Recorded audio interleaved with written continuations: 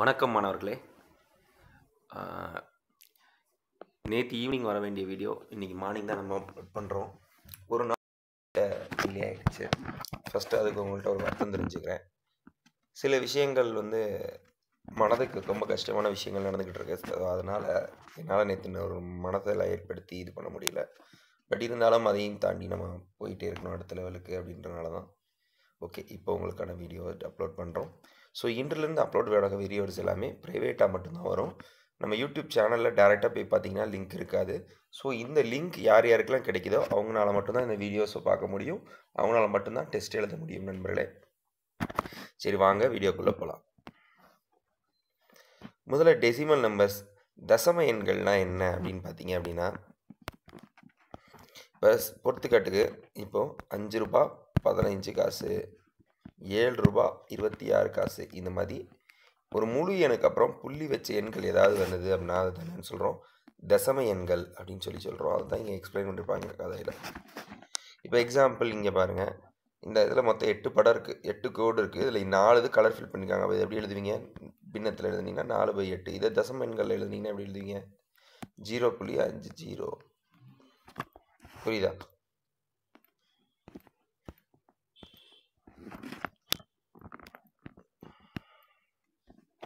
Okay.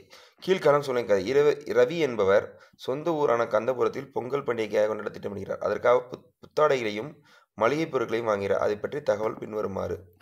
First துணி கடைக்கு போகிறார் கால் சட்டினா ட்ரவ் பேண்ட்டு தைக்கிறதுக்கு நாலு புள்ளி ஏழு அஞ்சு மீட்டர் வந்து துணி வாங்க நூற்றி இருபது மீட்டர் வாங்குறாரு. அதில் மீட்டரோட விகிதம் பார்த்தீங்க அப்படின்னா நாலு ரூபா எழுபத்தஞ்சு பைசா. அப்போ நான் நூற்றி இருபது மீட்டர் எவ்வளோனா என்ன பண்ணுவீங்க? ரெண்டையும் பெருக்கணும். பொதுவாக முழு எண்ணெய் முழு எண்ணெயும் பெருக்கும் போது உங்களுக்கு என்ன வரும் அப்படின்னா முழு எண்கள் பெருக்கிறது ஈஸி ஸோ இந்த மாதிரி பின்னங்களையும் முழு எண்ணையும் பெருக்கும் போது சில நேரங்களில் பின்னங்கள்லையும் வரும். சில நேரங்களில் சாரி பின்னங்கன்ற பாயிண்டில் டெசிமல்ஸ்லேயும் வரும். சில நேரங்கள் என்ன வரும்? அப்படியே தசம எண்கள்லையும் வரும். ஸோ அப்போ வந்து தசம எண்கள்லையும் வந்து எப்படி பெருக்கிறது அப்படின்றத தான் இங்கே சொல்லியிருக்கிறாங்க. அதே மாதிரி பாருங்கள் மளிகை கடையில் அறுபது கிலோ ஒரு கிலோவோட விலை எவ்வளோ? அறுபது கிலோ அரிசி. ஆயிரம் கிலோ வாங்கியிருக்கிற சரி ஒரு கிலோ வாங்கியிருக்காரு அப்படின்னா அப்படியே முழுசாக அப்படியே போட்டோம். ஆனால் இதே பருப்பை கவனிங்களேன். எண்பத்தஞ்சு கிலோவுக்கு எண்பத்தஞ்சு ரூபாய் ஆனால் பருப்பு நம்ம எவ்வளோ வாங்கியிருக்கோம்? அரை கிலோ தான் வாங்கியிருக்கோம். அப்போ என்ன பண்ணியிருக்கோம்? Zero point five into five இது மாதிரி இருக்கணும்னால நாற்பத்தி ரெண்டு ரூபா ஐம்பது பைசா அரை கிலோ எவ்வளோ? ஒரு கிலோனா நமக்கு நா- நாற்பத்தி எண்பத்தஞ்சு ரூபானா அரை கிலோ எவ்வளோ? நாற்பத்தி ரெண்டு ரூபா ஐம்பது பைசா நமக்கு தெரியும் இல்லையா? ஸோ இதை தான் இங்கே கொடுத்துருக்குறாங்க. தசம எண்கள்னா என்ன? அப்படி இப்படி பண்ண அதை பெருக்கிறது அப்படின்னு. சரி ஓகே இன்னொரு சில விஷயம் பார்க்கணும் வாழைப்பழம் கவனிங்க. அறுபது டஜன் வந்து ஒரு டஜன் வந்து அறுபது ரூபா ஒரு டஜன் என்ன பண்ணாலும் அறுபது ரூபா அப்படி டேரெக்டாக போட்டோம். தேங்காய் ஒரு தேங்காய் அஞ்சு ரூபா. ஸோ பொருட்களில் அப்புறம் முழு இப்போ முழு என்ன இருந்தால் எப்படி? ஒரு தசம என்ன இருந்தால் எப்படி? டெசிமல் நம்பராக இருந்தால் எப்படி அப்படின்னு. ஓகே தசம எண்களின் குறித்தல் ரெப்ரசன்டிங் டெசிமல் நம்பர் ஒரு டெசிமல் நம்பரை எப்படி வந்து சொல்கிறது அப்படின்னு. சரி ஏன் ஆங்கிலத்திலையும் சொல்லிகிட்டே இருக்கேன்னா நிறைய மாணவர்களுக்கு வந்து எனக்கு தமிழில் தெரியும் சார். இருந்தாலும் அதோட ஆங்கில வார்த்தைகளையும் சொன்னால் நல்லா இருக்கும்னு சொல்லி வீடியோவில் சஜஷன்ஸ் கொடுத்துருந்தீங்க. பர்சனலாக வாட்ஸ்அப் நம்பரில் குரூப்பில் இல்லாமல் ஸோ அவங்களுக்காக இதை சொல்கிறோம் சரி கீழ்கண்டும் படங்களில் உள்ள பந்துக்களை ஒன்றுக்கு ஒன்றில் பத்தும் பத்தில் நூறு ஒற்றுக்காக அப்படின்னு சொல்லியிருக்காங்க. பத்துக்கள் ஒன்றுக்கள் அப்படின்னா என்னென்னு போடுவோம். இங்கே பாருங்கள் இப்போ எக்ஸாம்பிள் ஒன்று ரெண்டு மூணு நாலு அஞ்சு ஆறு ஏழு எட்டு ஒம்பது பத்து. பத்து இருக்கு முதல் இதில். அடுத்து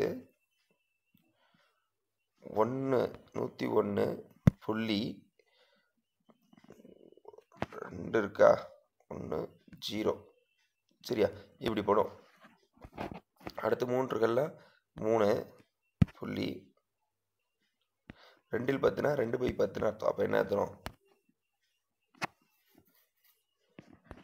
மூணு புள்ளி ரெண்டு. புரியுதா?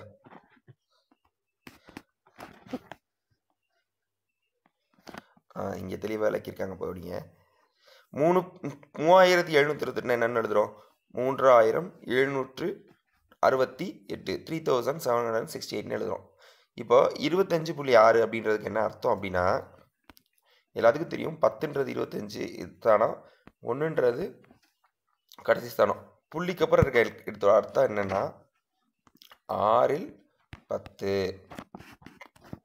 சரியா? இப்போ இப்படி இருக்குன்னு வச்சுக்கோங்க. முப்பத்தி ஏழு புள்ளி ஆறு மூணு. முப்பத்தி ஏழுன்றது தெரியும். ஆறுன்றது ஆறு பை பத்து கம்மா மூணுன்றது மூணு பை நூறு. புரியுதா? இப்போ கீழே இருக்க என்ன கவனிங்க? பத்து நூறு ஆயிரம் பத்தாயிரம் இப்படி போய்க்கிட்டே இருக்கும். இதுதான் இங்கே சொல்லியிருக்கிறாங்க. அடுத்து கிலோமீட்டர் சென்டிமீட்டர் மீட்டர் கிலோமீட்டர் இதுக்கான கன்வர்ஷன் நமக்கு தெரியணும். சரி இப்போ முதல்ல பாருங்கள் நூறு சென்டிமீட்டர்ன்றது எத்தனை மீட்டர் ஒரு மீட்டர் ஒரு சென்டிமீட்டர்ன்றது இப்போ நூறு சென்டிமீட்டர்ன்றது ஒரு மீட்டர் அப்படின்னு நமக்கு எல்லாத்துக்கும் தெரியும் இல்லையா? இப்போது இதே ஒரு மீட்டர் அப்படின்றது என்ன பண்ணுவீங்க அப்போ? ஒன்று பை நூறு மீட்டர் சென்டிமீட்டர் அப்படின்னு மாதிரியுமா இதை அப்போ என்ன பண்ணுறீங்க இங்கே வச்சுட்டு இதை கீழே கொண்டு வந்துடுறீங்க அப்போ இங்கே ஆட்டோமேட்டிக்காக என்ன இருக்கும்? இங்கே இருக்க நியூமரேட்டர் டினாமினேட்டர் ஆகும்போது இங்கே மேலே ஒன்று இருக்கு இல்லையா? அதுதான். இதை ஞாபகம் வச்சுக்கோங்க. இதை வச்சு இவங்க போட்டிருக்காங்க. என்ன சொல்கிறாங்கன்னா ஒரு பொங்கல் படை ரவி புகழ்னா ஒரு கால் சட்டி வாங்கிய நீளமானது நாலு புள்ளி நாலு மீட்டர் எழுபத்தஞ்சு சென்டிமீட்டராக கணக்கிடப்பட்டுள்ளது. சென்டிமீட்டர் உள்ளதை மீட்டரில் மாற்றி பின்வருவா அதாவது டேரெக்டாக மீட்ரு கொடுத்துருந்தாங்கன்னா சென்டிமீட்டரில் கொடுத்துருந்தாங்கன்னா அப்படியே கணக்கு போட்டுக்கலாம் இல்லை ஒன்று என்ன பண்ணணும்? மீட்டரை சென்டிமீட்டராகவும் சென்டிமீட்டர் மீட்டர் ஏதாவது ஒரு பகுதியை வச்சு தான் நம்ம கணக்கு எடுத்துக்கோம் ஏற்கனவே நிறைய கணக்கில் நம்ம பார்த்துருப்போம். அப்போ வந்து இங்கே நாலு புள்ளி ஏழு இஞ்சு சென்டிமீட்டர் அப்படின்னா அப்போ அந்த நாலு புள்ளி ஏழு அஞ்சு சென்டிமீட்டருக்கு என்ன பண்ணணும்? எழுபத்தஞ்சு சென்டிமீட்டரை மீட்டராக மாற்றணும் அப்போ என்ன பண்ணணும்? புள்ளிக்கு அப்புறம் இருக்குமா? எப்படி இருக்குமா? நாலு புள்ளி ஏழு அஞ்சு. அப்போ என்ன பண்ணுறோம் ஏழு அஞ்சு டிவைடட் பை நூறு. அப்போ எவ்வளோ எழுதுவோம்? ஜீரோ புள்ளி ஏழு அஞ்சு. அப்போது மொத்தம் நாலு புள்ளி ஏழு அஞ்சு சென்டிமீட்டர் சாரி மீட்டர் நாலு புள்ளி ஏழு அஞ்சு மீட்டர்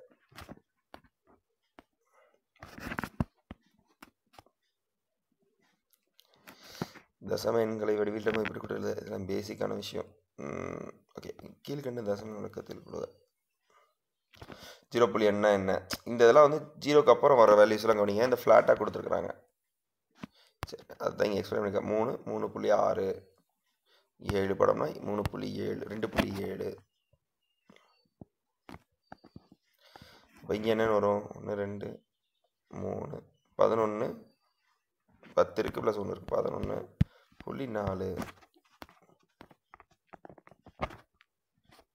பாருங்கள் ஜீரோ புள்ளி ரெண்டு மூணு ஏழுன்றது எப்படி இருக்காங்க? ஒன்று ஸ்தானத்தில் ஜீரோ எழுதிட்டாங்க. பத்து ஸ்தானத்தில் மூணு. நூறு பத்து ஸ்தானம் என்ன? மூணு பை பத்து. ஏழு ஸ்தானம் மூணு பை நூறு. இப்படி வரும். இதுதான் இங்கே கொடுத்துட்டு போயிட்டுருக்காங்க அடுத்து ரெண்டு புள்ளிங்கும்போது ரெண்டு ஒன்று ஸ்தானத்தில் ஏழு பை பத்து மூணு பை நூறு. ரெண்டு பை ரெண்டு இருபத்தி எட்டு புள்ளி ஒன்றில் பத்து. பத்து ஸ்தானத்தில் இப்போ எழுதியிருக்கிறாங்க? ரெண்டு பை நூறு கமா ஏழு பை சரி ரெண்டு பை பத்து கமா ஏழு பை நூறு ஒன்று பை ஆயிரம். இப்படி போட்டிருக்கிறாங்க. இதை தான் இங்கே எக்ஸ்பிளைன் பண்ணியிருக்கிறாங்க ஓகே ஒரு மனிதன் தன் உயரம் நூற்றி அறுபத்தஞ்சு சென்டிமீட்டர் இதனை மீட்டராக குறிப்பிடுக என்ன பண்ணணும்? சென்டிமீட்டர்லேருந்து மீட்டராக மாற்றினா என்ன? வெரி சிம்பிள் என்ன பண்ண சொன்னோம்? நூறால் வகுக்கணும். ஸோ நூற்றி இருபத்தஞ்சி வகுத்தல் நூறு எவ்வளோ? ஒன்று புள்ளி ஆறு அஞ்சு. சரியா?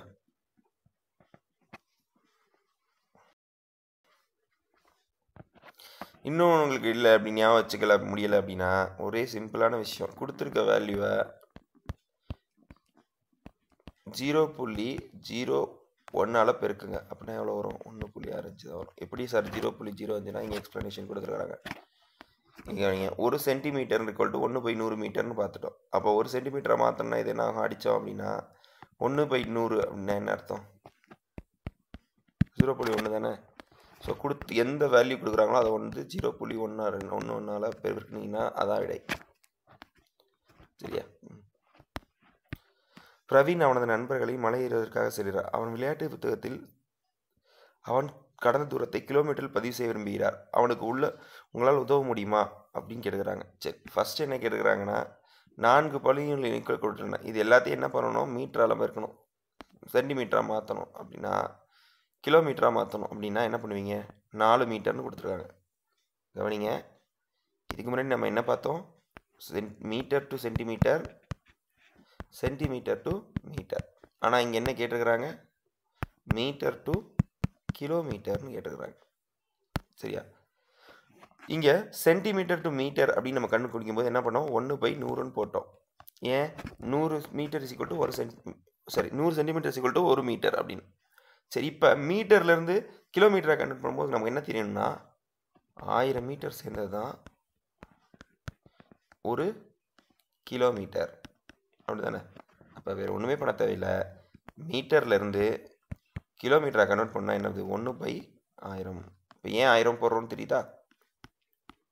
சரி. அங்கே எப்படி ஞாபகம் வச்சுக்கிட்டோம்? கொடுத்துருக்க எண்ணெய் ஜீரோ புள்ளி ஜீரோ ஒன்றால் பெருக்கினோம்னா மீட்டராக கண்டுபிடிக்கும் போது நமக்கு என்ன வரும்?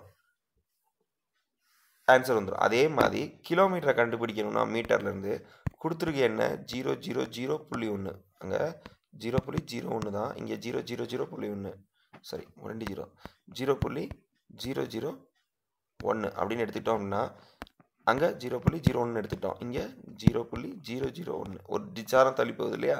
ஏன்னா அங்கே நூறு இங்கே ஆயிரங்கும் போது ஸோ அப்போ கொடுத்துருக்க என்ன? இப்போ நாலு இன்ட்டு ஜீரோ புள்ளி ஜீரோ ஜீரோ ஒன்று அப்படின்னா என்ன வரும்? ஜீரோ புள்ளி ஜீரோ ஜீரோ ஜீரோ நாலு. விடையா ஸோ இந்த மாதிரி ஒவ்வொரு வேல்யூவையும் இந்த ஜீரோ புள்ளி ஜீரோ ஒன்றால் பெருக்குனீங்க அப்படின்னா உங்களுக்கு விடை கிடச்சிரும். சரி. கீழே கொடுக்கப்பட்ட விரிவான வடிவத்தில் உள்ள எண்களை இடம் மதிப்பீடை கட்டத்தில் குறிப்பிட்டு மேலும் அதனுடைய தசம எண்களை எழுதுக அப்படின்னு கொடுத்துருக்குறாங்க. இங்கே பாருங்க அவங்களே கொடுத்துட்டாங்க. மூணுனா என்ன? அஞ்சு பை பத்துனா என்ன? பத்தில் ஒன்று. மூணு பை நூறுனா என்ன? மூணில் நூறு. ஆயிரத்தில்னா நாலு பை நூறு. ஆயிரம். அப்போ எக்ஸ்பிளைன் பண்ணல அதை. சரி பயிற்சி கணக்கு விளக்கத்தை எப்படி எழுதுவீங்க? பதினொன்று பன்னெண்டு இருக்குது பன்னெண்டு புள்ளி ரெண்டு. இங்கே இருபத்தி ரெண்டு இருபத்தி மூணு புள்ளி மூணு. அடுத்து ஐந்து மீட்டரை. தசம எண்களை பயன்படுத்தி சென்டிமீட்டராக மாற்றுக சென்டிமீட்டர்னால் என்ன பண்ணும்? மீட்டரில் இருக்குது சென்டிமீட்டராக மாற்றணும் என்ன பண்ணணும்? நூறால் பெருக்கணும். அவ்வளோதான் அப்போ அஞ்சு இன்ட்டு நூறு எவ்வளோ சரி சென்டிமீட்டராக மாற்றணும் என்ன பண்ணுவோம்? ஜீரோ புள்ளி ஜீரோ ஒன்றால் பெருக்கணும். அப்போ என்ன வரும்? ஜீரோ புள்ளி ஜீரோ அஞ்சு. இதே மாதிரி இருக்க வேல்யூஸ் எல்லாம் இதை பண்ணப்போ இங்கே எக்ஸாம்பிள் இன்னொரு வித்தியாசமான வேல்யூ பார்ப்போம். எட்டு சென்டிமீட்டர் ஒம்பது மில்லிமீட்டர்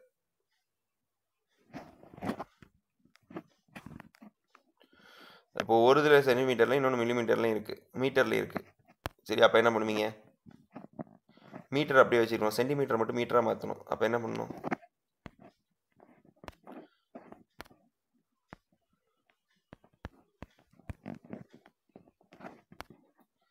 சரியா? ஜீரோ புள்ளி சரி கீழ்கண்ட தசம பன்னெண்டு மீட்டரில் குறிப்பிடுங்க சென்டிமீட்டரில் கொடுத்துட்டாங்க. மீட்டரில் இப்போ வேணும் நமக்கு. அப்போ என்ன பண்ணணும்? இங்கே பாருங்கள் என்ன பண்ணியிருக்கோம்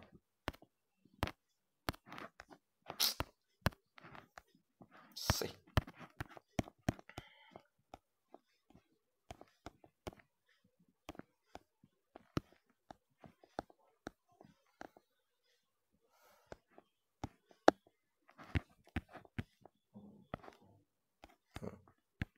சென்டிமீட்டரில் கொடு கொடுத்துருக்காங்க. நம்ம என்ன பண்ண போகிறோம் மீட்டரில் கன்வெர்ட் பண்ண போகிறோம் அப்படின்னா என்ன பண்ணணும்? ஒன்று பை நூறு. அது ஒன்று பை நூறுன்றதுக்கு இன்னொரு ஷார்ட்கட் என்ன பார்த்தோம்? ஜீரோ புள்ளி ஜீரோனால பெருக்கணும். சரி அதே மாதிரி கீழ்காண தசம எண்களை விரிவாக குறிப்பிடுக. இது எப்படி குறிப்பிடணும்? மூணு ஏழு மூன்று ஸ்தானம் பத்தாவது ஸ்தானம் ஒன்றாவது ஸ்தானம் அடுத்து மூணு பை பத்து. இந்த மாதிரி குறிப்பிட சொல்கிறாங்க கீழ்கண்ட இன மதிப்பை கட்ட அட்டவணையில் குறித்து மற்றும் அடிக்கோட்டு இலக்கிளைகளை மதிப்புக இங்கே எனது ஆறு பை பத்து. அடுத்து ரெண்டு பை பத்து. ஆனால் இங்கே ஒம்பது பை நூறு. அடுத்து அஞ்சு பை நூறு. எட்டு பை ஆயிரம். அஞ்சு எண்களுக்கு இதுதான். கொடுத்துக்கிட்டு மூணு இதை மடிப்பு என்னது? இங்கே. மூணு பை ஆயிரம். ஒரு கிலோகிராமை கிராமாக மாற்றுவதற்கு நாம் எவற்றை எடுக்கிறோம் ஆயிரம்.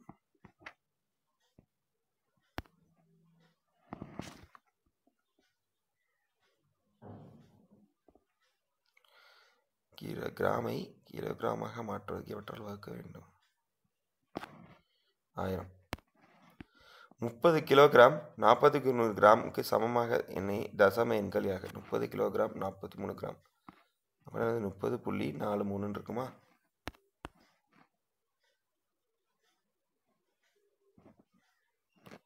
இல்லை ஆயிரம் இல்லையா? அப்போ ஜீரோ புள்ளி ஜீரோ நாலு மூணு இருக்கும் அடுத்து ஒரு மட்டைப்பண்டு ஆடுகளத்தில் அகலம் இருபத்தி இரநூத்தி அறுபத்தி நாலு சென்டிமீட்டர். எனில் அதன் மீட்டருக்கு சமம். இந்த மாதிரி கேள்விகள் கேட்கும்போது தான் நமக்கு வந்து டிஎன்பிசியில் இந்த மாதிரி கேள்விகள் தான் கேட்பாங்க. இதுக்கு முன்னாடி பார்த்ததெல்லாம் சும்மா ப்ராக்டிஸ் பண்ணாலும் இந்த மாதிரி கேள்விகளை நமக்கு மெயினாக அந்த எட்டாவது ஒன்பதாவது கேள்வி நல்லா பார்த்துக்கணும். சரியா? ஒரு மட்டைப்படுத்த ஆடுகளம்னா ஒரு கிரிக்கெட் பிச்சு அது வந்து இரநூத்தி அறுபத்தி நாலு மீட்டரில் கொடுத்துருக்குறாங்க. சரியா? அவங்க என்ன கேட்டிருக்காங்க? அது எத்தனை மீட்டருக்கு சமம்னு இருக்கிறாங்க சென்டிமீட்டரில் கொடுத்து மீட்டரில் கன்வெர்ட் பண்ணால் என்ன பண்ணணும்? ஜீரோ புள்ளி ஜீரோனால பெருக்கணும் அவ்வளோதான் அப்போ என்ன வரும்?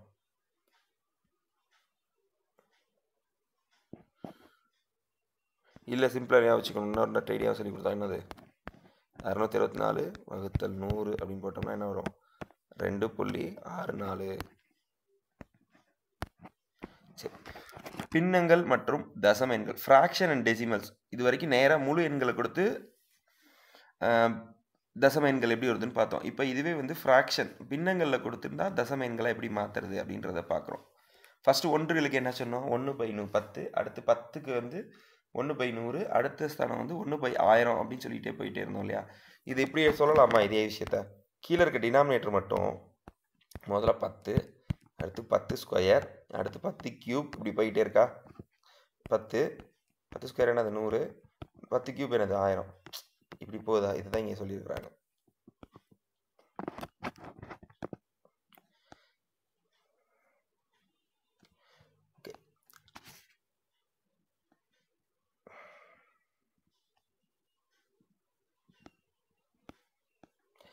தசம எண்களை பின்னங்களாக மாற்றுதல். Conversion of decimal to fraction அதாவது டெசிமல் நம்பர்ஸை வந்து பிராக் ஃப்ராக்ஷன் எப்படி கன்வெர்ட் பண்ணுறது அப்படின்றது தான் இங்கே பாருங்கள் thirty nine point nine five இது ஒரு தஸ் பின்னங்க த டெசிமல் எண் தசம எண் தானே? இதை எப்படி ஃப்ராக்ஷனாக பின்னமாக எப்படி மாற்றுறது அப்படின்னா வேறு ஒன்றுமே இல்லை. ஃபஸ்ட் என்ன பண்ணணும்? முழு எண் முந்நூற்றொண்ணூத்தொம்போதை அப்படியே வச்சுக்கோங்க. சரியா? மேலே கொடுக்கப்பட்டிருக்கிற எண்கள் இப்படி எழுதுங்களா ஃபஸ்ட்டு பைக்கமா அஞ்சு பை நூறு. இப்படி எழுதுவோமா? இப்போ பெரிய எண் இதை நூறு தான். சரி, இதை அப்படியே எடுத்து எழுதுங்க. தொண்ணூத்தஞ்சு டிவைடட் பை நூறு. அப்போ எப்படி இருக்கும்? முந்நூற்றொண்ணூத்தொம்போது பை நூறுன்னு இருக்கும். இப்போ கலப்பு பின்னத்தை பின்னமாக என்ன பண்ணுவீங்க மாற்றுறதுக்கு நார்மலாக முந்நூற்றொண்ணூத்தொம்போது தொண்ணூத்தஞ்சு பை நூறுன்னு இருக்குது இது ஒரு கலப்பு பின்னம். இதை என்ன பண்ணுவீங்க? இதை மல்டிப்ளை பண்ணி இதோட ஆட் பண்ணிக்குவீங்க. சரியா? அப்போ எவ்வளோ வரும்? மூவாயிரத்தி தொள்ளாயிரத்தி தொண்ணூற்றி ஐந்து. சரி முப்பத்தொம்பதாயிரத்தி தொள்ளாயிரத்தி டிவைட் பை நூறுன்னு இருக்கும். இதில் எதையா அடிக்க முடியுதான்னு பாருங்கள் ஐந்தாவது வாய்ப்பாடால் அடிக்க முடியும். இருபத்தஞ்சா? அதே மாதிரி ஆறஞ்சா நு- முப்பத்தஞ்சு மீதி நாலு ஏழஞ்சு முப்பது எட்டஞ்சு ஒம்போதஞ்சா நாற்பத்தஞ்சு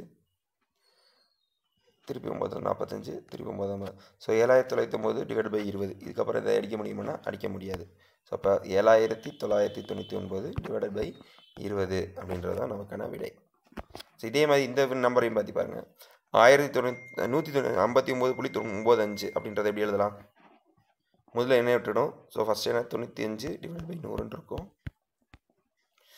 நூற்றி தொண்ணூற்றி ஒம்பது இதை குறுக்கு பெருக்கல் பண்ணணும். இதை அப்போ என்ன வரும்? பதினஞ்சாயிரத்தி தொள்ளாயிரத்தி தொண்ணூத்தஞ்சு வகுத்தல் நூறு. ஏற்கனவே அங்கே தான். அஞ்சாறு அடிக்கலாம். இருபத்தஞ்சா நூ நூறு. அஞ்சாறு அடித்தாலும் மூவஞ்சா பதினஞ்சு. ஓரஞ்சு அஞ்சு மீதி நாலு. எட்டஞ்சு நாற்பது ஒம்பத்தஞ்சு நாற்பத்தஞ்சு. திருப்பி ஒம்பத்தஞ்சு நாற்பத்தஞ்சு.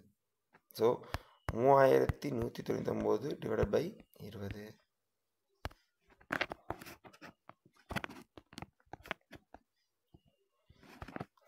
ஓகே கீழ்காணும் பின்னங்களை தசம எண்களாக மாற்றுகன்னு கொடுத்துருக்குறாங்க. இப்போது பதினாறு பை ஆயிரம் அப்படின்னா எத்தனை ஸ்தானத்தில் ஆயிரம் வரும்? நல்லா யோசிங்க. முன்னாடி இருந்து புள்ளிக்கு அப்புறம் ஒன்று நூ பத்தாவது ஸ்தானம் நூறாவது ஸ்தானம் ஆயிராவது ஸ்தானம். அப்போ எப்படி இருக்கும்? ஜீரோ புள்ளி ஜீரோ ஒன்று ஆறு. இப்படிதானே இருக்கும். அடுத்து அறநூற்றி முப்பத்தெட்டு வகுத்தல் பத்து அப்படின்றது என்ன பண்ணுவீங்க? பார்த்தீங்கன்னா அறுபத்தி மூணு புள்ளி எட்டு. ஒன்று பை இருபது. இது தசமம் என்ன எப்படி மாற்றுறது அப்படின்னா ஃபஸ்ட்டு இந்த மாதிரி பின்னத்தில் கொடுத்துருந்தாங்கன்னா எப்பயுமே பகுதி வந்து நூறாக மாறணும். பகுதி இங்கே நூறாக மாறணும் என்ன பண்ணணும்? அஞ்சால் பெருக்கணும். மேலே இருக்கிறது என்ன பார்த்துலாம் அஞ்சால் பெருக்கலாமா? அப்படின்னா என்ன வரும்? அஞ்சு பை நூறு. அப்போ அஞ்சுன்றது எவ்வளோன்னு எழுதுனீங்க அப்படின்னா ஜீரோ புள்ளி ஜீரோ அஞ்சுன்னு எழுதலாமா? அஞ்சு பை நூறை? ஜீரோ புள்ளி ஜீரோ அஞ்சுன்னு எழுதலாமா? ஏன்னா நூறாஸ்தான கீழே வருது இல்லையா? ஏன் சார் இருபதுலேயே நான் வச்சு இப்படி பண்ண முடியாதா? தாராளமாக பண்ணுங்கள் உங்களுக்கு டேரக்ட் முறை தெரிஞ்சதுன்னா டேரெக்டாக இப்படி எழுதலாம்.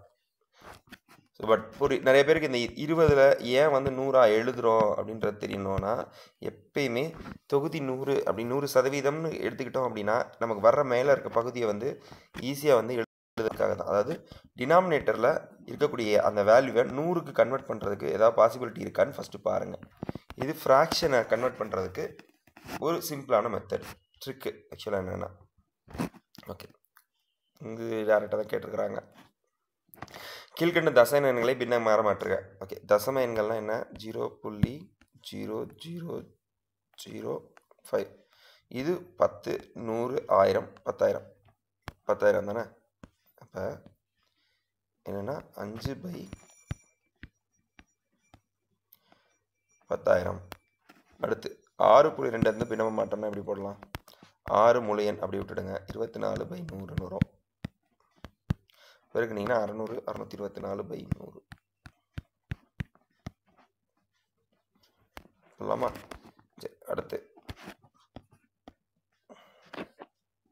கீழ்காணும் பின்னங்களை தசம எண்களாக மாற்றுக ஃப்ராக்ஷனை வந்து எப்படி இதாக மாற்றுறது அப்படின்னா நான் ஏற்கனவே ட்ரிக் சொல்லி கொடுத்துருக்கேன். த்ரீ பை ஃபைவ் இதில் வந்து கீழே இருக்க நம்பர் ஹண்ட்ரடாக மாற்றிடணும் அப்போ என்ன பண்ணும்?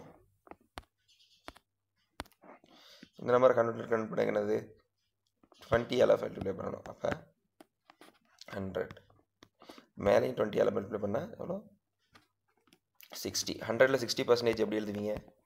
ஜீரோ பாயிண்ட் சிக்ஸ்னு எழுதுவோமா? அடுத்து ஃபைவ் பை ஹண்ட்ரட் இதுக்கு ஏற்கனவே கண்டுபிடிச்சோம் எவ்வளோ? Zero point zero five so இதை ஹண்ட்ரடாக வச்சுக்கிட்டோம்னா ஈஸி கண்டுபிடிக்கிற அதனால தான் அதை கன்வெர்ட் பண்ணுறோம் இல்லைன்னா டேரெக்டாக எனக்கு பண்ண தெரியும்னாலும் அவங்க பண்ணுங்கள் ஒன்றும் பிரச்சனை இல்லை. சரி இப்போ வந்து ரெண்டு பை அஞ்சு அப்படின்றத எப்படி கண்டுபிடிக்கலான்றது பார்த்துருப்போம் தெரியும் எல்லாத்துக்கும். மூணு பை நாலு ஆல்ரெடி கண்டுபிடிச்சனால அந்த வேல்யூ பார்க்கல. ஸோ இதை எப்படி பண்ணுறது இதை நூறாக கன்வெர்ட் பண்ணால் என்ன பண்ணணும்? இருபத்தஞ்சால் பெருக்கணும். நூறு. அப்போ மேலே என்ன வரும்? இருபத்தஞ்சால் பெருக்கினீங்கன்னா எழுபத்தஞ்சு அப்போ ஆன்சர் என்ன எழுதுறீங்க? ஜீரோ புள்ளி எழுபத்தஞ்சு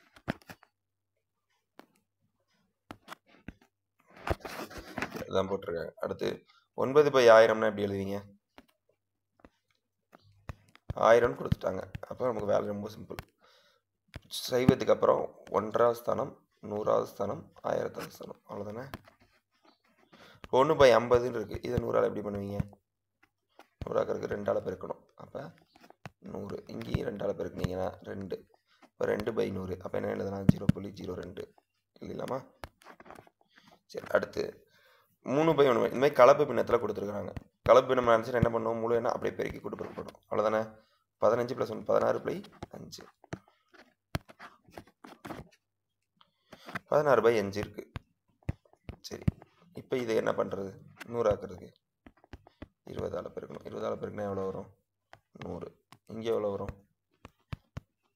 இருபதால் பெருக்கினீங்கன்னா.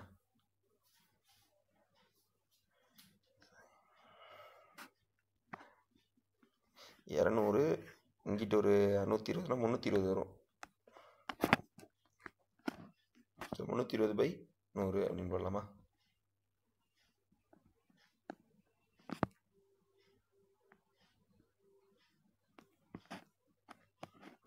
பை நூறுன்றதை சுருக்கியிருக்கிறாங்க ஜீரோ ஜீரோ கேன்சல் ஸோ அடித்தோம்னா மூணு புள்ளி ரெண்டு.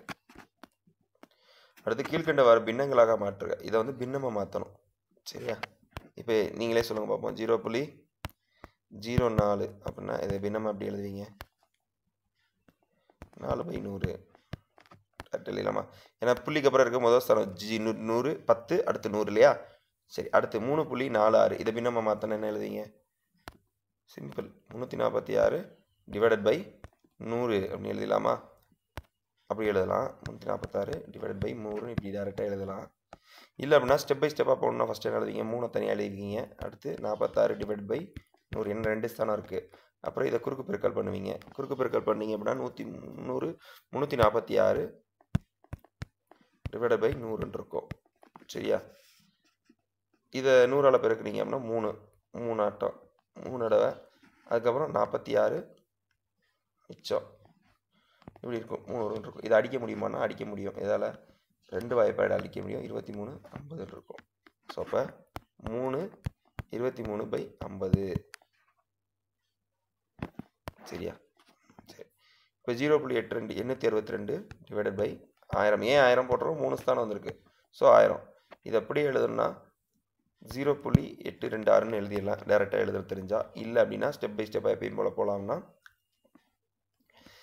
எண்ணூற்றி இருபத்தி ரெண்டு டிவைடட் பை ஆயிரம் அப்படின்னு போட்டிங்கன்னா என்ன வரும்?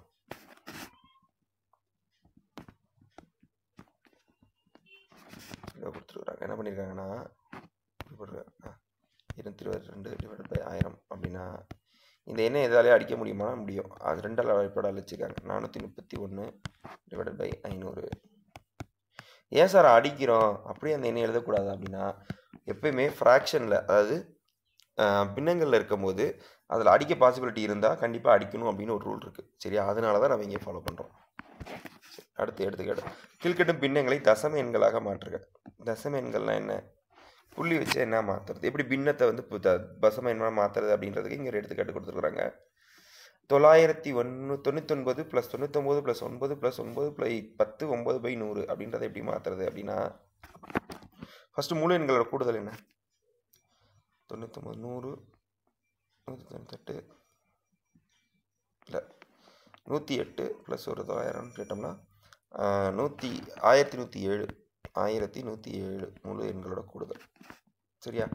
அடுத்து இப்படி எதுக்கலாமா தொண்ணூத்தொம்பது பை நூறு அப்படின்னு இல்லாமல் ரெண்டையும் சேர்த்து தொண்ணூத்தொம்பது பை நூறுன்னு வந்துடும் சரி. அப்போ எப்படி வரும்? டைரெக்டாக நமக்கு தெரியும்.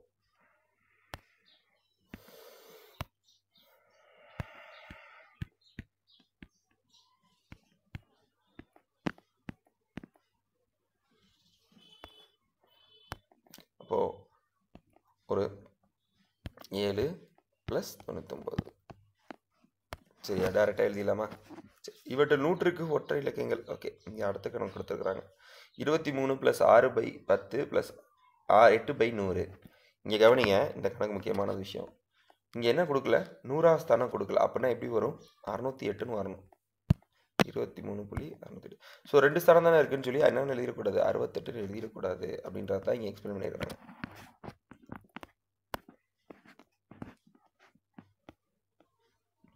கீழ்கண்ட வரணும் தசம எண்கை எழுதுக. நானூற்றி நான்கு நூற்றில் நான்கைந்து. நானூற்றி நாலு நூறில் ஐந்துனா என்ன? அஞ்சு பை நூறுன்னு அர்த்தம்.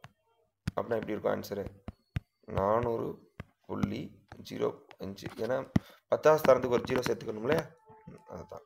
இரண்டாயிரத்தி இருபத்தி ஐந்து. இரண்டாயிரத்தி இருபத்தி ஐந்து. அப்படின்னா என்ன? புள்ளி வச்சுட்டாங்க. அப்படின்னா என்னென்னா? இரண்டாயிரத்து ரெண்டாயிரம் ரெண்டு ரெண்டு ஆயிரத்தில் இருபத்தி ஐந்து அப்படின்னு கொடுத்துட்டாங்க.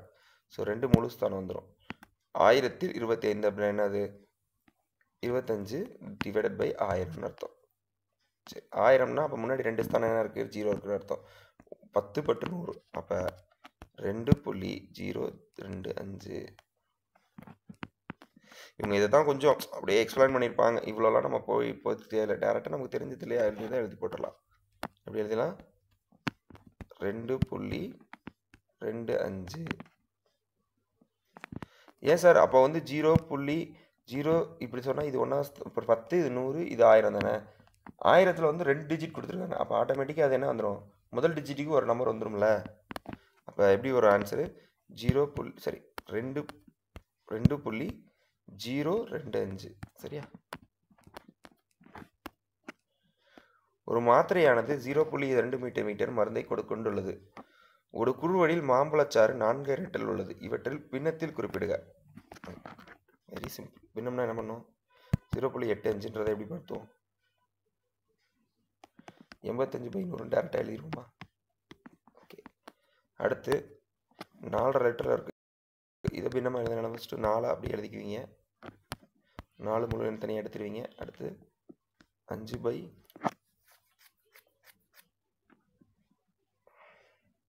நூறுன்னு எடுத்துக்கலாமா? லிட்டர் அப்படின்றனால. சரி அப்போ இதை வந்து இப்படி கூட எடுத்துக்கலாம். அஞ்சு பை பத்துன்னு எடுத்துக்கலாம். சரி. ஆ, அஞ்சு பை பத்து. நாலரை லிட்டர் ஒரு சரம் ஸோ அப்போ அஞ்சு பை பத்து. ஸோ பத்தை நூறு ஆக்கணும் என்ன பண்ணணும்? பத்தால் பெருக்கணும். இதையும் பத்தால் பெருக்கணும். அப்போ ஐம்பது பை நூறுன்னு வருமா இதை அடிக்க முடியுமா? ஒரு ஐம்பது ஐம்பது இருபது பன்னெண்டு. சரி அப்போ ஏற்கனவே என்ன இருக்குது நாலு தனியாக இருக்குது இன்ட்டு ஒன்று பை ரெண்டு. அப்போ என்னது? ஒம்பது பை ரெண்டுன்னு இருக்கும். ஒம்பது பை ரெண்டுன்னு இருக்கும். இதை இன்னும் அவங்க என்ன பண்ணியிருக்காங்க கலப்பு பின்னமாக மாற்றிருக்கிறாங்க அப்போ நாலு நாலு ரெண்டு எட்டு மீதி ஒன்று மீதி ரெண்டு. சரியா? ஒம்பது பை ரெண்டுன்னு சொல்லி நீங்கள் எழுதினாலும் தப்பு கிடையாது. பட் நாலு பை ஒன்றுன்றது கலப்பு பின்னமாக மாற்றி பின்னத்தை கலப்பு பின்னமாக மாற்றி எழுதியிருக்கிறாங்க. வேற ஒன்றும் இல்லை. ஸோ கீழ்கண்ட இடமளிப்பில் உள்ள எண்களை நிரப்புக அப்படின்னு சொல்லி கொடுத்துருக்குறாங்க. அவங்களே அதை எக்ஸ்பிளைன் பண்ணிடுறாங்க எப்படி நிரப்புறது அப்படின்னு. இடமற்ற வினைகளில் உள்ள அட்டவணைகளை நிரப்புக இது அதே தான் கீழ்கண்டவன தசம எண் இடமளிப்பில் நிரப்புக அப்படின்னா தசம எண்களை இடமதிப்பை அட்டவணையில் எழுதுக அப்படின்னா அட்டவணையில் எழுதுவீங்க இது ஒன்று நூறு பத்து ஸ்தானம் நூறாவது ஸ்தானம் ஆயிராஸ்தானம் அதுக்கப்புறம் வந்து பத்தாவது ஸ்தானத்தில் ஜீரோ நூறாவது ஸ்தானத்தில் ரெண்டு ஆயிராவது ஸ்தானத்தில் அஞ்சு. ஸோ இந்த மாதிரி எழுத சொல்கிறாங்க அடுத்து பின்வரும் தசம எண்களாக எழுத. ஃபஸ்ட்டு முழு எண்களை கூட்டிடணும். என்ன பண்ணணும்? இருபத்தி ஒன்று முதல் கணுவியம் இருபத்தி ஒன்று அடுத்து ரெண்டு பை மூணு பை ரெண்டுனா இரநூத்தி முப்பத்தி ஏழு. இப்படி எழுதிடலாம். அவ்வளோதானே அடுத்து மொதல் என்ன கூட் ரெண்டில் பார்த்தீங்கன்னா ஒன்றே ஒன்று தான் இருக்கு. அப்போ எட்நூற்றி நாற்பத்தி அஞ்சு. அடுத்து ஆறு புள்ளி ஜீரோ ஜீரோ ஒன்பது. அடுத்து தொள்ளாயிரத்தி ஐம்பத்தி ஆறு புள்ளி ஜீரோ மூணு. ஏன்னா நூறாவது ஸ்தானத்தில் இருக்குது பத்தாவது ஸ்தானம் இல்லை அங்கே கவனிச்சிங்கன்னா தெரியும். அடுத்து அறநூற்றி முப்பத்தி ஒன்று ஜீரோ புள்ளி ஆறு மூணு ஒன்று கீழ்கண்டும் பின்னங்களை தசம எண்களாக மாற்றுக. தசம எண்கள்லாம் என்ன பண்ணணும்? ஃபஸ்ட்டு நூறால் மாற்றணும் நூறாக மாற்றுறதுக்கு என்னது? ரெண்டால் பத்தால் பெருக்கணும். அப்போ நூறு பை முப்பதுன்னு இருக்கும் இதை பார்த்துறது ஈஸி தான். நமக்கு எவ்வளோ? ஜீரோ புள்ளி மூணு. அடுத்து. பின் கண கலப்பு பின்னத்தில் கொடுத்துருக்காங்க. அது ஃபஸ்ட்டு பின்னமாக மாற்றினா என்ன பண்ணோம்? மூணு ரெண்டு ஆறு ஏழு பை ரெண்டுன்னு வரும். சரியா? இதை இன்னும் ஃபர்தராக போட்டோம்னா சரி இப்படி வச்சுக்கோ மூணு அப்படி இருக்கட்டும். ஒன்று பை ரெண்டு அப்படின்ற நம்பரை நூறால் பெருக்கணும் அப்படின்னா நூறு ஆக்கணும்னா என்ன பண்ணுவீங்க? ஐம்பதால் பெருக்குவீங்க. அப்போ ஐம்பது பை நூறுன்னு வரும். அப்போ அடித்தோம்னா திருப்பி ஒன்று பை ரெண்டு தான் வரும். ஸோ இப்போ எதனா எழுதலாம். மூணு புள்ளி அஞ்சு அப்படின்னு எழுதிடலாமா டேரெக்டாகவே அடுத்து. தசம எண்களாக மாற்றினா இதை எப்படி மாற்றுவீங்க ஃபஸ்ட்டு மூணு அஞ்சு பதினஞ்சு பதினெட்டு பை எட்டு. பதினெட்டு பை அஞ்சுன்னு இருக்கும். பதினெட்டு பை அஞ்சு. இதை நூறாக மாற்றணும் என்ன பண்ணுவீங்க? இருபதால் பெருக்குவீங்க. அப்போ இருபது பதினெட்டு பை இருபதாம் பெருக்கணும்னா இரநூறு நானூறுக்கு நாற்பது கம்மி முந்நூற்றறுபது ஜீரோ ஜீரோ கேன்சல் பத்துனா பதினெட்டு பை பதினெட்டு பை ஒம்பது திருப்பி அடித்தோம்னா ரெண்டு. கவனிங்க மூணாவது கணக்கு ஒரு வித்தியாசமான கணக்கு. இது வந்து மா பின்னத்தை அடிக்கும் போது உங்களுக்கு முழு எண் கிடைக்குது.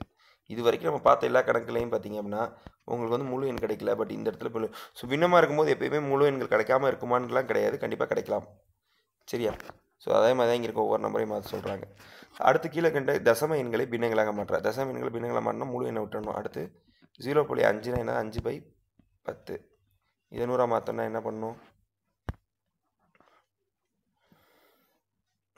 அஞ்சு பை பத்து. இதை குறுக்கு பெருக்கல் பண்ணலாமா? பன்னெண்டு பை பத்து பதினஞ்சு பை பத்துன்னு இருக்கும். இது அடிக்க முடியுமா? ஆ. இப்படியே எழுதலாம். பதினஞ்சு பை பத்துனே எழுதி முடிச்சிடலாம். அதே மாதிரி ஆறு புள்ளி நாலுன்றதை அப்படியே தான் எழுதுவீங்க. இதெல்லாமே அப்படியே கீழே சின்ன சின்ன கணக்கு தான். ஏற்கனவே பண்ணதான். கீழ்கண்டான எளிய பின்னங்களாக மாற்று எளிய பின்னம்னா சிம்பிள் ஃப்ராக்ஷனாக மாற்றினா போதும். ஏற்கனவே இங்கே பார்த்த மாதிரி தான் அந்த இதெல்லாமே. ஓகே. மெயினாக இந்த சாருங்க. மொத்த ம். மூணுன்றது தான் மொத்த எண். அப்போ மூணு புள்ளி நூறாவது ஸ்தானம் ஆயிரம் ஸ்தானம். அப்போ பத்தாவது ஸ்தானம் கிடையாது. ஜீரோ. இப்போ மூணு புள்ளி ஜீரோ நாலு ஒம்பது. இதை வந்து எப்படி அப்போ தசம பின்னமாக மாற்றணும்னா என்னென்ன வரும் அப்படின்னு கேட்குறாங்க சரி கவனிங்க. மூணு பை அஞ்சுன்னு இருக்குது அப்போ இதை பின்னமாக மாத்திரம் என்ன பண்ணுவோம்? இருபதால் பெருக்கணும் கீழே இருபதாறு பார்த்தீங்கன்னா மேலே இருபதால் பெருக்குங்க அறுபது பை நூறுன்னு இருக்கும். இது என்னென்னு எழுதிங்க ஜீரோ புள்ளி ஆறுன்னு தானே எழுதுவோம். அறுபது ஸ்தானம் அறுபது சதவீதம். ஜீரோ புள்ளி ஆறு மூணு ஜீரோ புள்ளி மூணு அஞ்சை சுருக்கி வடிவம். சுருக்கிய வடிவம்னா என்னது?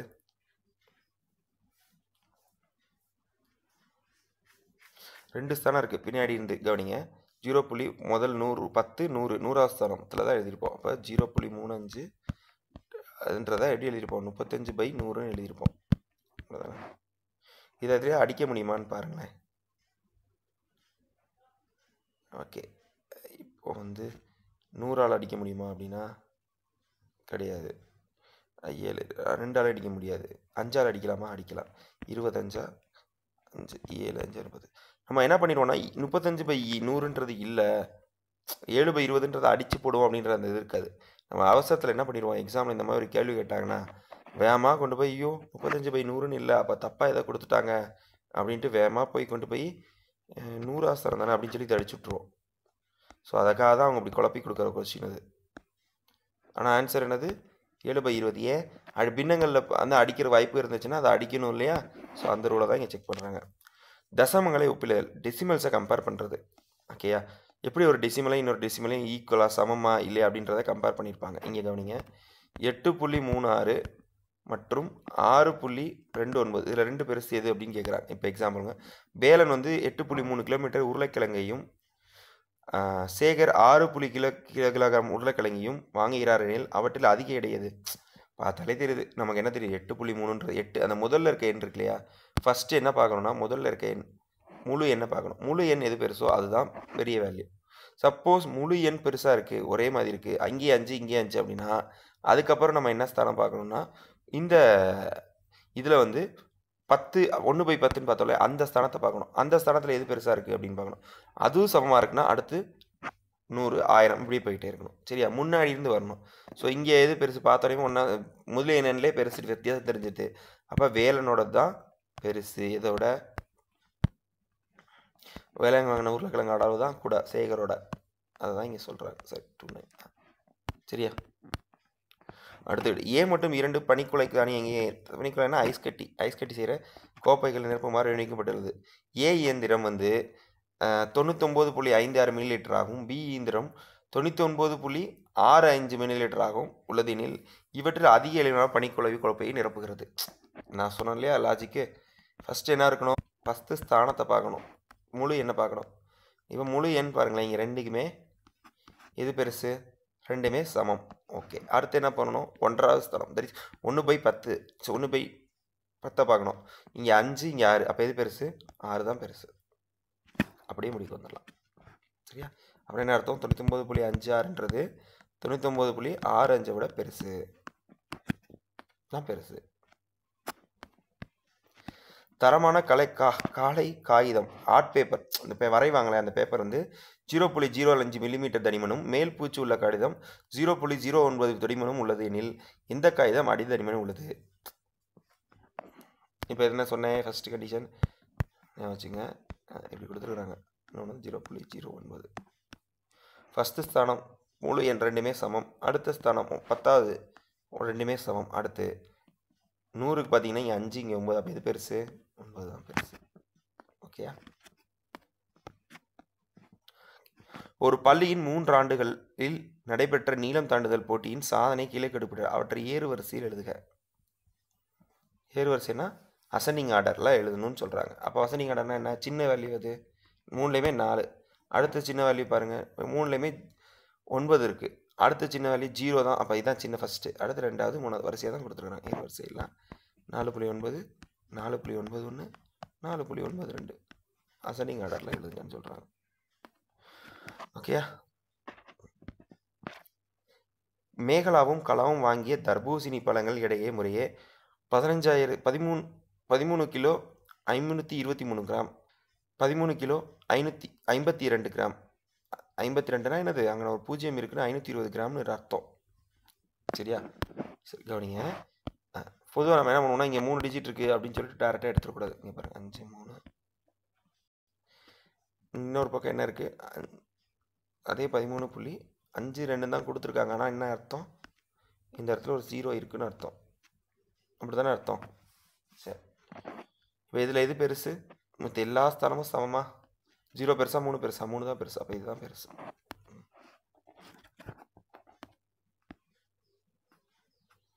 அதுதான் இங்கே சொல்லியிருக்கிறாங்க. இங்கே எக்ஸ்பிளைன் பண்ணிக்க கீழ்காண எண்களை ஒப்பிட்டு சிறிய எண்களை கண்டுபிடிக்க. சிறிய எண்கள் கேட்குறாங்க முதல்ல பெருசு கேட்டுகிட்டு இருந்தாங்க. இங்கே சிறுசு கேட்குறாங்க ஃபஸ்ட்டு கேள்வி என்ன கேட்குறாங்கன்னு பாருங்கள் ஜீரோ புள்ளி ஜீரோ எட்டு. சரி இன்னொரு பக்கம் என்னது? ஜீரோ புள்ளி ஜீரோ எட்டு ஆறு. இங்கே ஜீரோ இருக்குன்னு வச்சுக்கோங்க. இப்படி வச்சுக்கோங்க. மூணு சதமாக இருக்கனால. சரி ஃபஸ்ட்டு முதல் ரெண்டு ஸ்தானம் சமம். சரி அடுத்து மூணாவது ஸ்தானம் இங்கே எட்டு இங்கேயும் எட்டு. இங்கே எட்டு இங்கே எட்டு. இங்கே ஏன்னா ஜீரோ இருக்குது இங்கே ஆறு அப்போ பெரிய சிறிய நம்பர் எது? இதுதான். ஜீரோ புள்ளி ஜீரோ எட்டுன்றது என்னது? சிறிய நம்பர் அடுத்து ஜீரோ புள்ளி ஒன்பது ஒன்பது. ஒன்று புள்ளி ஒன்பது. இப்போ இதில் பெரிய நம்பர் எது? சிறிய நம்பர் எது? இதானே? தசமணிக்கு ஜீரோ இங்கே ஒன்று முழு எண். ஸோ அதிலே முடிச்சிடலாம். அடுத்து மூணு புள்ளி மூணு அஞ்சு. இது முதல்ல வந்து சிறிய எண் மூணு புள்ளி மூணு அஞ்சு. இங்கே வந்து சிறிய எண் இது அஞ்சு புள்ளி ஜீரோ அஞ்சு. இங்கே சிறிய எண் இது பன்னெண்டு புள்ளி மூணு அஞ்சு. பின்வருவரை ஏறு வரிசையில் எழுதுக.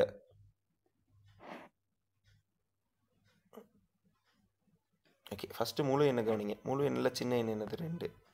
ஸோ அதுக்கப்புறம் அதில் வச்சுக்க சின்ன நம்பர் என்ன? மூணு அஞ்சு தான் சின்னது. அடுத்து ரெண்டு புள்ளி அஞ்சு மூணு. அடுத்து மூணில் இருக்கா? இருக்குது மூணில் வந்து மூணு புள்ளி ரெண்டு அஞ்சு ரெண்டு மூணு புள்ளி அஞ்சு வருது. அப்போ அந்த கடைசி என்ன என்னது? அஞ்சு புள்ளி மூணு ரெண்டு. இப்படி இது ஏறு வரிசை. கீழ்காணும் தச எண்களை ஒப்பிட்டு பெரிய எண்களை எழுதுக. இப்போ பெருசு கேட்டிருக்கிறாங்க. அப்போ என்னது?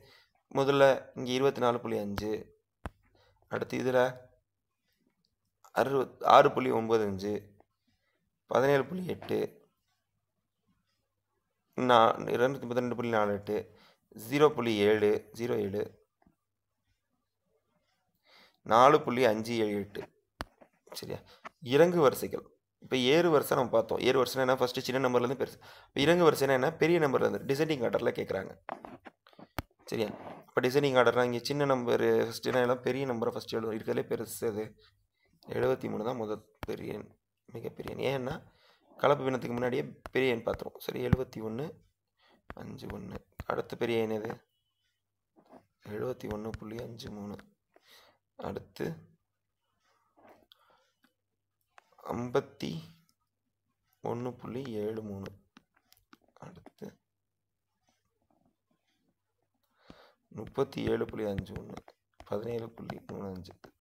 ஸோ இந்த வரிசையில் நீங்கள் எழுதணும். இதே மாதிரி தான் அடுத்த கணக்கு. ஓகே இதுக்கு எதுக்கு சமம்? செயற்குறி விளக்குன்னு கேட்டிருக்கிறாங்க. இது எதுக்கு சமம்?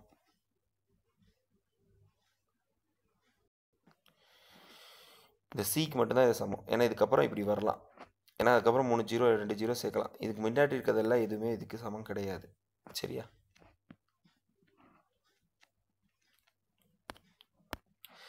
மூணு புள்ளி ஏ- முப்பத்தி ஏழு புள்ளி ஏழு ஜீரோ இஸ் ஈக்குவல் டு முப்பத்தி ஏழு புள்ளி ஜீரோ. சமமா இது ரெண்டும் அப்படின்னா ஆமாம் இது ரெண்டும் சமம். சமம் மட்டும்தான். இதோட இது பெருசுன்னு சொல்ல முடியாது. இதோட இது வந்து சிறுசுன்னு சொல்ல முடியாது. இது ரெண்டு சமம் இல்லைன்னு சொல்ல முடியாது. ஸோ இது ரெண்டு சமம். அடுத்து எழுபத்தெட்டு புள்ளி ஐம்பத்தி ஆறு எழுபத்தி எட்டு புள்ளி ஐம்பத்தி ஏழு. அப்போ என்னது? எழுபத்தி ஐம்பத்தெட்டு புள்ளி பெருசு. சரி இந்த மாதிரி சிம்பிள் தான் வரணும் முடியும் கிட்ட தசம எண்களில் எண்கோட்டில் ரெப்ரசன்டிங் டெசிமல் நம்பர்ஸ் அந்த நம்பர் லைன் ஸ்கேல் எல்லாம் பார்த்தீங்கன்னா சென்டிமீட்டரில் கொடுத்துருப்பாங்க. இத்தனை சென்டிமீட்டர் இத்தனை சென்டிமீட்டர் அந்த மாதிரி கேல் ஸ்கேல் வேல்யூவில் தசம எண்களை குறிப்பிடுறது. அது எப்படி அப்படின்றத தான் இங்கே சொல்லியிருக்கிறாங்க.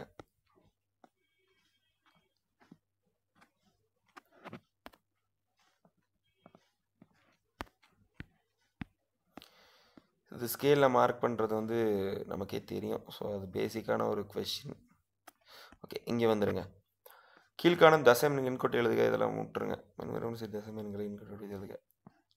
ஓகே பெரிய தசம எண் சிறிய தசம என்ன இது அப்படின்னு கேள்வி கேட்டிருக்கிறாங்க. ஸோ இது நமக்கு ஏற்கனவே இங்கே பொறுத்த வரைக்கும் இதுதான் பெருசு. இங்கே பொறுத்த வரைக்கும் தான் பெருசு. இங்கே பொறுத்த வரைக்கும் இதுதான் பெருசு.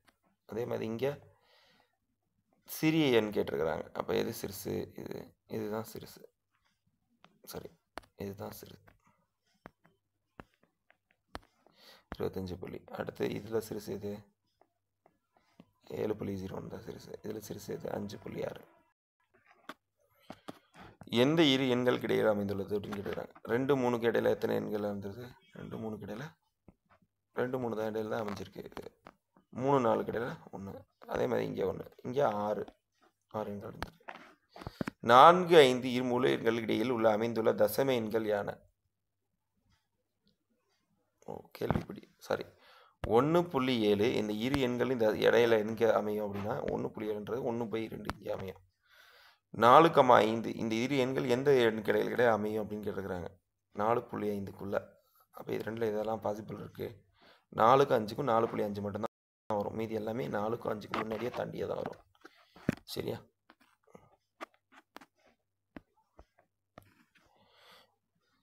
தசம எண்களை கொடுக்கப்பட்டுள்ள தசமீன்களை இடமதிப்பு அட்டவணையில் எழுதுக. அந்த அப்போ ஃபடாப்டாக இருக்கலாம். ஃபஸ்ட்டு ஃபஸ்ட்டு பார்த்தோம் இல்லையா? அதில் எழுத சொல்கிறாங்க இதெல்லாம் பேசினே பார்த்துட்டு வந்தாச்சு. இந்த நாலாவது கணக்கு கவனிங்க. இருபத்தஞ்சு மீட்டர் நீச்சல் போட்டியில் ஐந்து வீரர்கள் ஏ பி சி கலந்து கொள்கின்றனர். அவர்களில் நேரங்களின் முறையே பதினைந்து வினாடிகள் பதினைந்து புள்ளி ஆறு எட்டு வினாடிகள் பதினைந்து புள்ளி ஆறு வினாடிகள் எனில் அஞ்சு பேருக்கு கொடுக்குறாங்க. இந்த டைம் கொடுத்தா இவங்களில் யார் வந்து வெற்றியாளர் அப்படின்னு கண்டுபிடிக்கணும்னா இருக்கிறதுல சின்ன நம்பர் எதுன்னு கண்டுபிடிக்கணும் வேறு ஒன்றும் இல்லை.